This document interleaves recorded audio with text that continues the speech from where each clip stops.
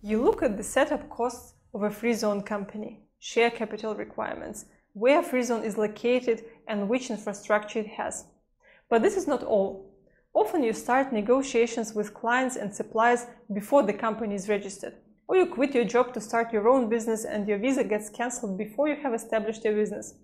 This is when it becomes important to register a company efficiently and with a minimum time investment. As a result, you start inquiring as to how quickly you can receive your corporate documents and have your company up and running in this or that free zone.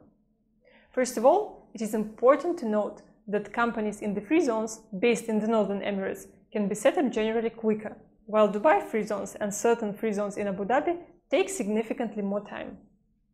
What may take you one or two, three days in the Northern Emirates will take you seven days to two weeks in Dubai and Abu Dhabi.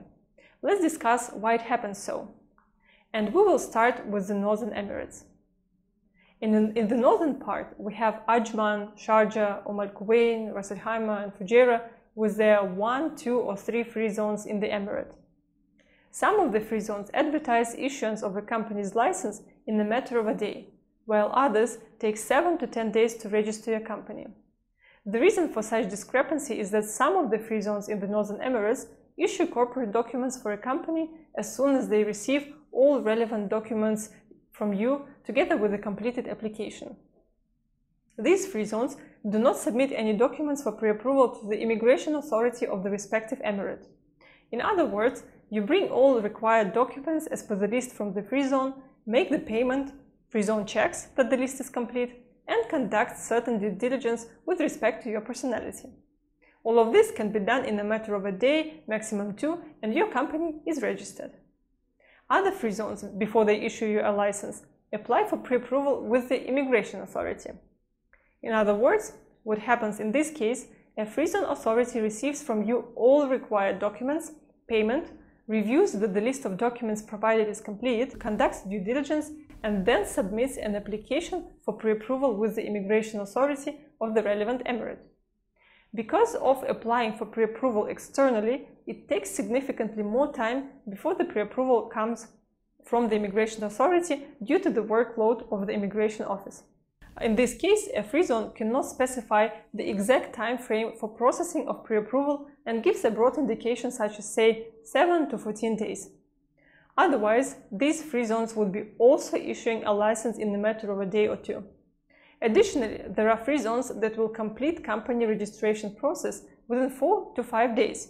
But for an additional charge, a license can be processed in a matter of a day or two. As such, if you are extremely pressed on time, you may look for free zones which offer company registration in a matter of a day or two, such as Ajman Free Zone, Al Quwain Free Trade Zone, Sharjah Airport Free Zone, and a number of others. Sharjah Media City, Fujairah Creative City, would take 4 to 5 days. RAKEZ and Ras Al Khaimah will take slightly longer than the free zones mentioned due to the application for pre-approval with Immigration Authority. While it may seem that pre-approval extends the waiting time for license issuance, it is an extremely positive step, as a pre-approval issued by Immigration Authority gives you a higher degree of assurance that your UAE resident visa application will be later approved and visa will be issued. As we already mentioned, Free zones in Dubai and Abu Dhabi take more time with respect to company registration, and several reasons can be named to justify the same. Firstly, the number of companies registered in Dubai free zones, as well as the number of applying businessmen, is often higher. Therefore, Dubai free zones especially have a significant workload to manage, both with respect to new applications and existing clients. Secondly, most of Dubai free zones require depositing of the share capital, which oftentimes happens during the registration process. You may revisit Module 1, a chapter on share capital, if required. Therefore, to apply for account opening with the bank and deposit a share capital on its own takes about 10 to 14 days. Thirdly, free zones in Dubai and Abu Dhabi often require a business plan to draft which you will again require time. Next, the review of business plan by respective free zone authority needs some more time. All the said factors influence the general time frame for registration of free zone companies in Dubai and Abu Dhabi.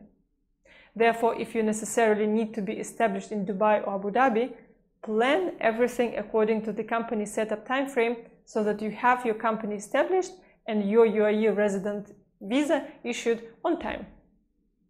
Now that you know exactly why registration in some free zones takes only a day or two and some require a week or much longer, you will plan everything accordingly and you will showcase a great degree of understanding to those free zone representatives who will be assisting you with the company setup.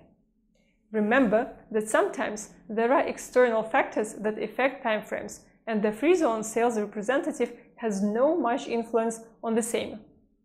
Therefore, when you understand the reasons behind longer company registration process, which sometimes happens, and you demonstrate the understanding of the matter, you may expect that whenever it is not beyond the free zone's control, the registration process will be expedited and you will receive your corporate documents accordingly.